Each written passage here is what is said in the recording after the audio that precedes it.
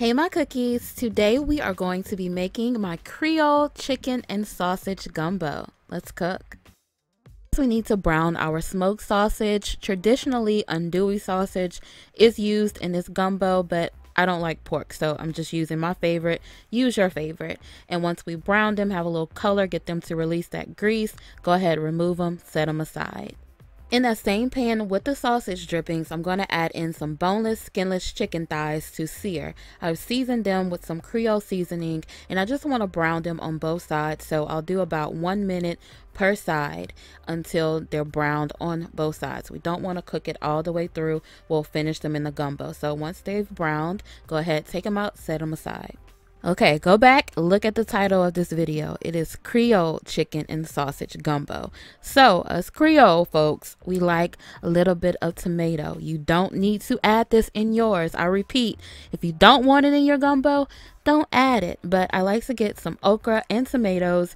And here I'm just cooking the slime out. You don't need a lot of okra. You don't need a lot of tomatoes. Again, if you don't want to use it, don't use it. Don't tell me about what your grandma and them put in their gumbo and don't belong in. Listen, don't play with me in my comment section. If you don't like it, babies, just skip this part, okay? Now I got my Magnalite pot. Into it, I'm going to add in the vegetable oil. Yeah, it is time to make that roux. So we're going to get that veggie oil good and hot. When the oil is hot, we want to start adding in our flour a little bit at a time, whisking while we pour it in. And we're going to do this on a medium high heat setting.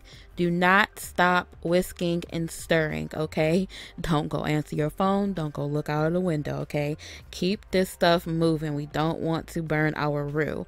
Now, this is after a few minutes. It's a nice little peanut buttery color, but we need to keep going until we get to this rich, dark chocolate color. And no boo-boo, it is not burnt. You will know when it's burnt because you will smell it, but we need this nice, dark, chocolatey roux. Now we add in the trinity. I have finely chopped onion, bell pepper, and celery. Sorry about the smoke. But that roux is so hot, I actually turned the stove off and I sauteed those veggies for like two minutes. Since they're so finely chopped, it won't take long. And no, my babies, this is not burnt. This is perfect. Trust me, okay? This is goodness. So once we have our veggies nice and tender, we're going to add in our okra and tomatoes. If you're using that, if not, don't play with me. Just skip it. Okay, then add in your sausage and some good quality chicken stock or chicken broth and turn that heat back on so that we can get it going to a nice low boil.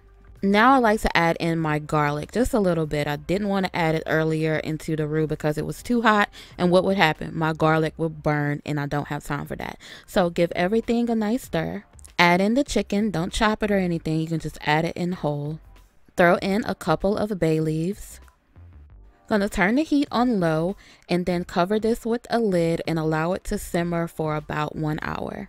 During that hour, I like to come back and skim some of the grease off the top of the pot. So don't stir it, skim the grease off first. After that hour of simmering, now I can add in my onion and garlic powders and taste it. And if you need to add some Creole or Cajun seasoning, do that to taste. Give it a stir, and now we're going to allow it to cook uncovered for an additional 30 minutes to an hour. When it's done, turn off the heat and fish out those bay leaves. Sprinkle just a little bit of this gumbo filé on top and stir it in. Not a lot because your gumbo will taste like a fish tank. Then cookies, it is time to eat. The recipe link will be down there in the description box. Don't forget your warm white rice. Gotta have that. Thank you so much for watching Cookies. Be sure to give me a thumbs up if you enjoyed this. If you have any questions, leave it down there in the comment section. It's time for me to eat. So until next time, be blessed.